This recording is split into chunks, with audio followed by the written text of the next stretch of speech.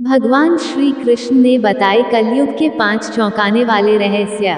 बात उस समय की है जब पाँचों पांडवों को वनवास हो गया था। वनवास जाने से पहले पांडवों ने भगवान श्री कृष्ण से पूछा, हे श्री कृष्ण, अभी यह द्वापर युग का अंत काल चल रहा है। आप हमें बताएँ कि आने वाली कलयुग की चलिए गति क्या और कैसी होगी? श्री कृष्ण जवाब देते हैं, मैं तुम्हें इसका सीधा सा उत्तर तो नहीं दे सकता, लेकिन हाँ तुम पाँचों भाई वन में जाओ और वन में जो कुछ भी दिखे मुझे आकर बताओ।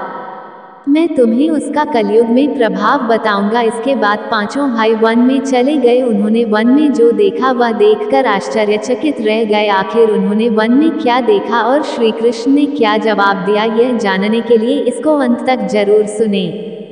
श्री कृष्ण के कहे अनुसार पाँचों भाई अलग अलग दिशाओं में वन की ओर निकले।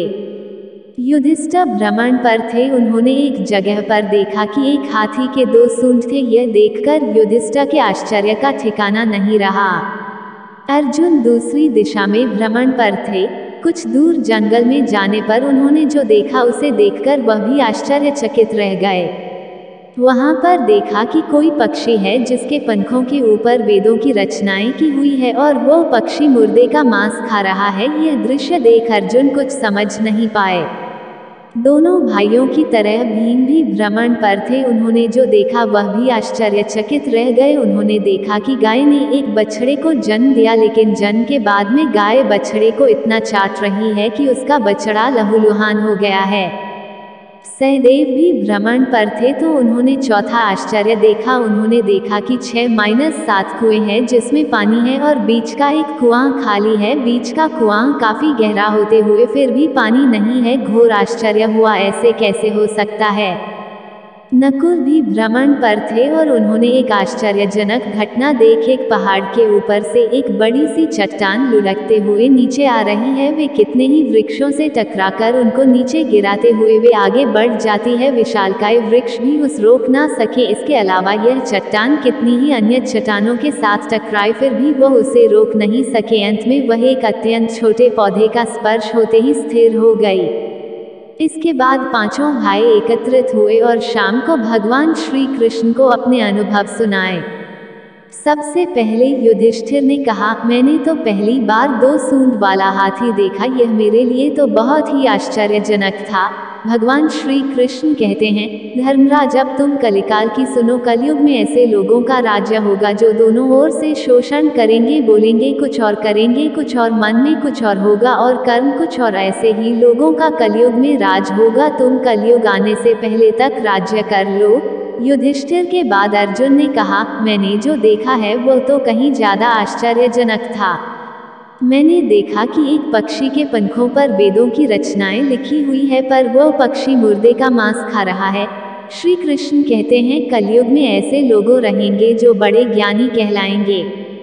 वे ज्ञान की चर्चा करेंगे, लेकिन उनके आचरण राक्षसी होंगे।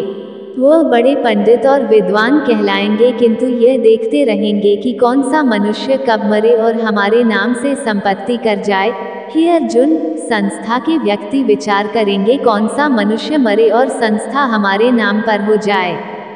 हर जाति धर्म पर प्रमुख पदों पर बैठे विचार करेंगे कि कब किसका श्राद्धा हो और कौन कब किस पद से हटे और हम उस पर चढ़ जाए, चाहे कितने भी बड़े लोग हो, परंतु उनकी दृष्टि धन और पद के ऊपर ही रहेगी। ऐसे लोगों की ही बहुतायत होगी। अर्जुन के बाद भीम ने अपना अनुभव सुनाया। भीम ने कहा कि गाय अपने बछड़े को इतना चाहती है कि बछड़ा लहूलुहान हो जाता है। श्री कृष्ण कहते हैं, कलयुग का मनुष्य शिशुपाल हो जाएगा। कलयुग में माओ की बच्चों के लिए ममता इतनी बढ़ जाएगी, उन्हें अपने विकास का अवसर ही नहीं मिलेगा। मोह माया में ही घर बर्बाद हो जाएगा। किसी का बेटा घर छोड़कर साधु बनेगा। तो हज़ारों व्यक्ति दर्शन करेंगे। यदि अपने बेटे ने साधु बनना चाहा तो रोएँगे कि मेरे बेटे का का क्या होगा? इतनी ज़्यादा ममता होगी कि उसे मोह माया और परिवार में ही बाँध कर रखेंगे। उसका जीवन वहीं खत्म हो जाएगा। वास्तव में लड़के तुम्हारे नहीं है, वह तो बहुओं की अमानत है और लड़कियाँ जमाइयों की अमानत है और तुम्हारा यह शरीर मृत्यु की अमानत है, तुम्हारी आत्मा परमात्मा की अमानत है। इसलिए तुम्हारा अपने शाश्वत संबंध को जानना आवश्यक है। भीम के बाद सहदेव ने पूछा, हे श्री कृष्ण मैंने जो देखा, मैंने यह देखा कि पाँच सात बड़े कुओं की के बीच एक गहरा कुआँ बिल्कुल खाली है। जबकि ऐसा संभव कैसे हो सकता है? भगवान श्री कृष्ण ने जवाब में कहा, कलयुग में लड़की के विवाह में मकान के उत्सव में छोटे बड़े उत्सवों में तो लाखों रुपए खर्च कर देंगे।